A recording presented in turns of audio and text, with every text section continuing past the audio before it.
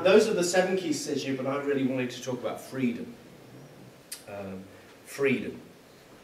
Um, why is freedom important? And it's funny, isn't it, that we don't talk about it.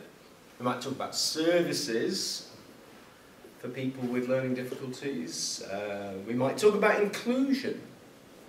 Um, you know, we might talk about community, but we don't really talk about freedom very much, I don't think.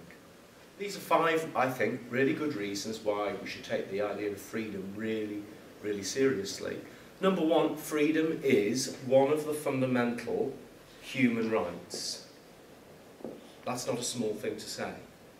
Human rights are at the core of what it is to be together, to have rights, to, ha to be treated well by others. Rights are fundamental to who we are as human beings. And the right to freedom, to a life that you can control. What some disabled people call independent living. Yeah?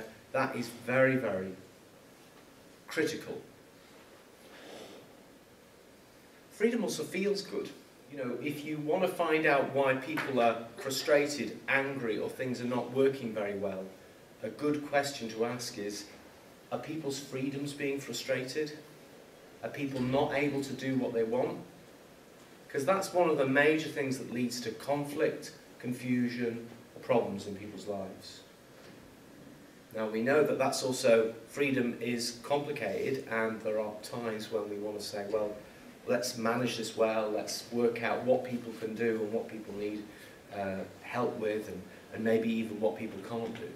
Um, but if we constantly frustrate freedom, if we, if we don't pay attention to freedom, then the impact on that will be pain and suffering uh, and unhappiness for lots of people.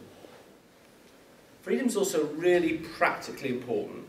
Um, if you don't figure out a mechanism by which people can be free, then you'll find that people can't have really basic things like tenancy rights, employ people, enter into contracts with people.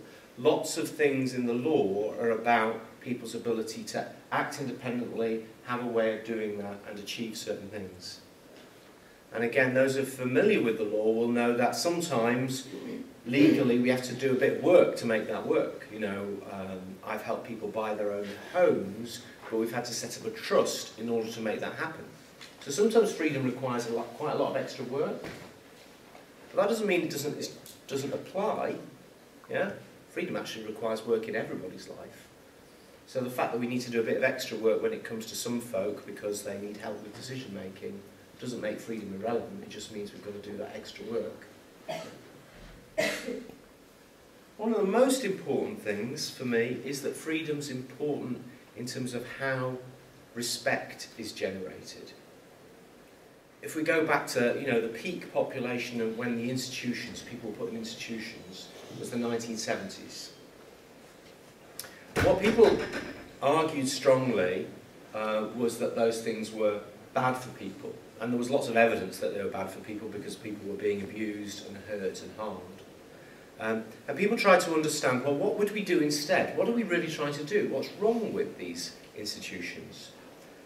And one of the theories that people, people as old or older than me in the room, there might be a few of you, uh, but there were theories like normalization or social role valorization. Anybody yeah. remember these things? A few, a few nods, not everybody. But what these were trying to do was figure out why is it that it, sometimes human beings get themselves in such a place that they feel it's okay to treat people abusively. They feel it's okay to disrespect them and not to pay attention to human rights. That's what normalization, what social role valorization we're trying to explore. You what is it that stops people treating people with respect? And they argued, I think, persuasively that if you, if you treat people like they're too different, or they're a bit weird, or they belong in these funny places, then the standards of human behaviour fall. If we put people in a funny place where not like everybody else, what tends to happen is that other people start thinking, oh, well, it's all right to treat them abusively. And we see the same today in places like Winterbourne View. There are you know, there are 11,000 people in out-of-area placements uh, around the country, places like Winterbourne View, where the kind of abuses that some of you might have seen on television are going on. I was working with some families in the southwest of England uh, recently who said that their, whose kids had been in Winterbourne View, they said Winterbourne View was one of the least bad places their kids had been. All right, so the notion that all of this abuse has gone away or these institutional problems has gone away is wrong. It's still with us. It used to be 65,000 people in institutions, so now it's maybe 11,000, so that's some kind of achievement, but uh, it's also noticeable that some of these places were paying four, five, six times as much money for as the institutions. So we're spending about the same amount of money on institutions just for about a fifth or a sixth of the number of people, which is kind of shocking if you think about it. So these ideas we're talking about, how do we help people, uh, and the term normalisation, how do we help people live a more normal life where they're not likely to be disrespected? Now, see, my background is I'm a philosopher, and philosophers don't like theories that are too peculiar. And normalisation was a bit peculiar. It was very good, but it was also a bit peculiar. And it was peculiar in this way, which is that the idea of normalising the person or their environment only makes sense if you assume that normal is good. Yes? That's the only way you can get that theory off the ground. Um, so in a way, what the, ph the philosophy of normalisation, if you can call it that, is it was a special philosophy for special people. But then that doesn't make sense because it was meant to be about everyone. Can you see the problem? It's a bit of a funny problem. It's a kind of philosopher's problem, maybe. But to have a special philosophy that only applies to special people about them not being special doesn't make sense to a philosopher. So I wanted to start thinking about what are the kind of ideas and theories that apply to all of us. I don't want a special philosophy that just applies to people with learning difficulties. I want to think about all of this for all of us. And I think the idea of citizenship is such an idea.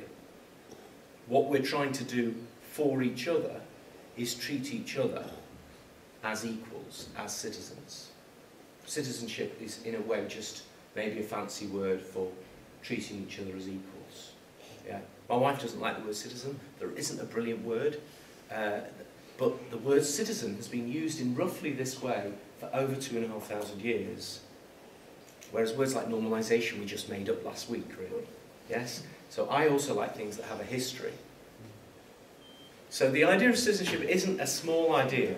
It is important because it's really fundamental to exploring how people who are different treat each other as equals.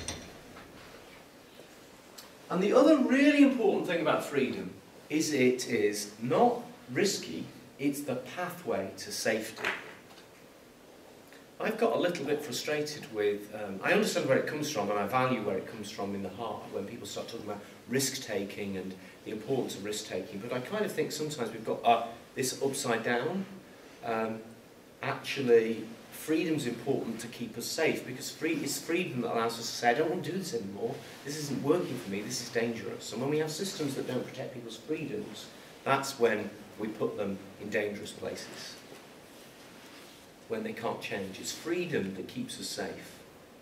Freedom isn't risky. So we have to pay a lot of attention to freedom.